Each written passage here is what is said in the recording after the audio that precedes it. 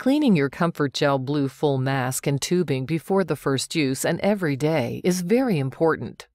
For best results, the mask should be disassembled. Lift up the tabs on the bottom of the flap's integrated retaining ring. Remove the cushion and flap, and separate the cushion from the flap.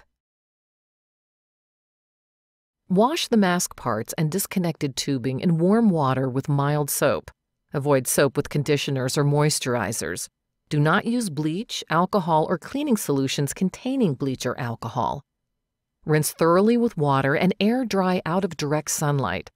Be sure the mask and tubing are dry before use.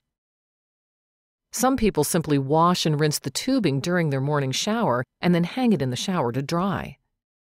The headgear does not need to be removed for daily cleaning. However, it should be washed weekly or as needed. It can be washed by hand in warm soapy water or in the washing machine on the gentle cycle. If washed in the machine, attach the headgear tabs to the straps so they don't latch onto other items in the laundry. Lay the headgear flat or line dry. Do not place it into the dryer. If your mask and tubing still contain moisture when you're ready to use them at night, connect them to your PAP device and blow the water out before you put the mask on. The mask and tubing must be dry before use. Be sure to inspect your mask and tubing for damage or wear, such as cracking or tears. Discard and replace any parts as necessary. To reassemble your mask, follow these steps. Place the cushion on the ledge of the faceplate.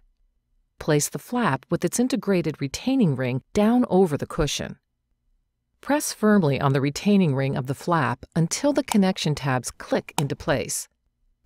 Gently tug on the cushion and the ring to make sure all of the parts are securely in place.